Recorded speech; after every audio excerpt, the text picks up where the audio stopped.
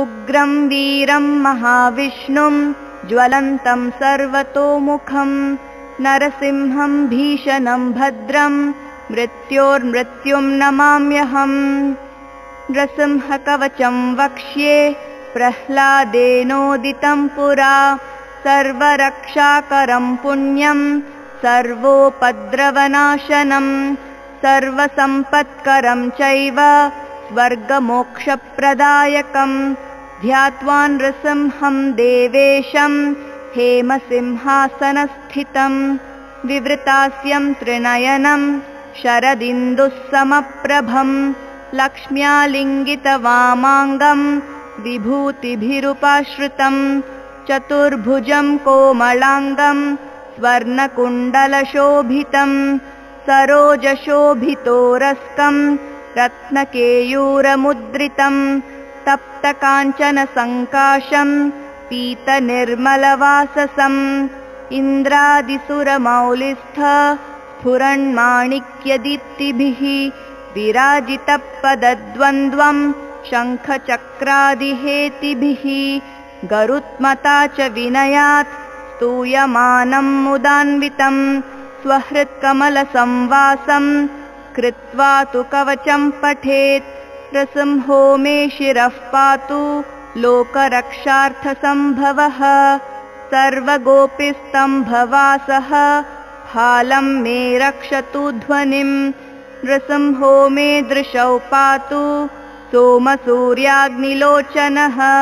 स्मृतिं मे पातु नृहरि मुनिवर्यस्तुतिप्रियः। नासं मे सिंहनासस्तु मुखं लक्ष्मीमुखप्रियः सर्वविद्याधिपः पातु नृसिंहोरसनां मम वक्त्रं पात्विन्दुवदनं सदा प्रह्लादवन्दितः नृसिंहः पातु मे कण्ठं कन्धौ भूभरणान्तकृत् दिव्यास्त्रशोभितभुजो नृसिंहः पातु मे भुजौ करौ मे देववरदो नृसिंहः पातु सर्वतः। हृदयं योगिसाध्यश्च निवासं पातु मे हरिः। मध्यं पातु हिरण्याक्ष। वक्षः कुक्षिविदारणः। नाभिं मे पातु नृहरि। स्वनाभिब्रह्मसंस्तुतः ब्रह्माण्डकोटयः कट्यां।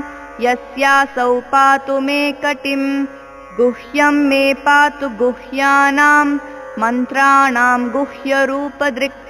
ऊरु मनोभवः पातु जानुनीनररूपधृक् जङ्घे पातु धराभार हर्ता योऽसौ नृकेसरी सुरराज्यप्रदः पातु पादौ मे नृहरीश्वरः सहस्रशीर्षा पुरुषः पातु मे सर्वशस्तनुम् महोग्रः पूर्वतः पातु।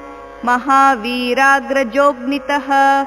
महाविष्णुर्दक्षिणे तु महाज्वालस्तु नैरतौ।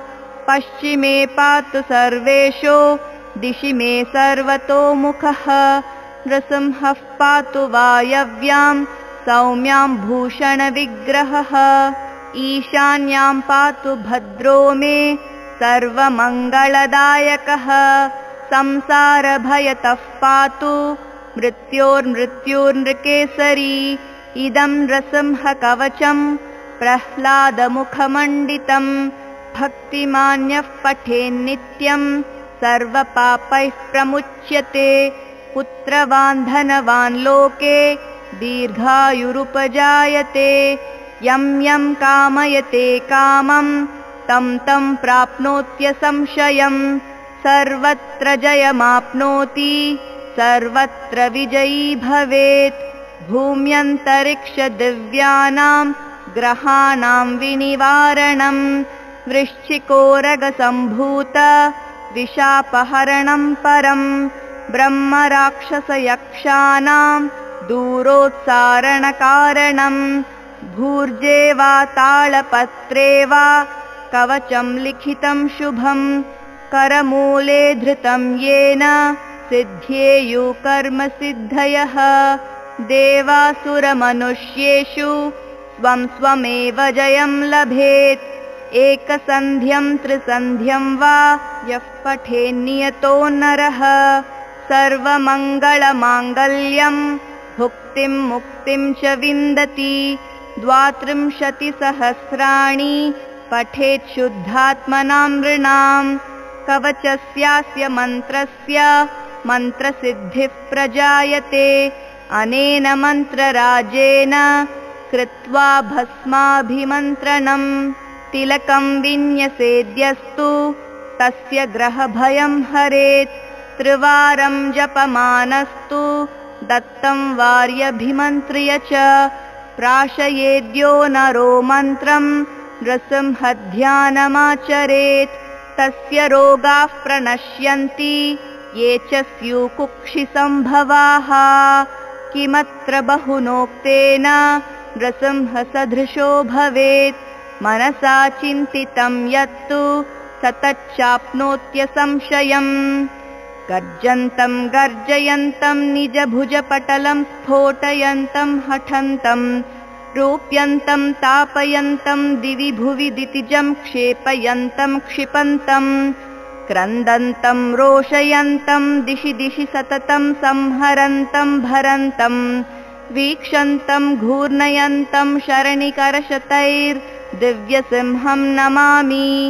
इति श्रीब्रह्माण्डपुराणे प्रह्लादोक्तं श्रीनृसिंहकवचं सम्पूर्णम् श्रीनरसिंह जय नरसिंह जय जय नरसिंह प्रह्लादेश जय पद्ममुख पद्मभृङ्ग श्रीनरसिंह जय नरसिंह जय जय नरसिंह प्रह्लादेश जय पद्ममुख पद्मभृङ्ग श्रीनरसिंह जय नरसिंह जय जय नरसिंह प्रह्लादेश जय पद्ममुख पद्मभृङ्ग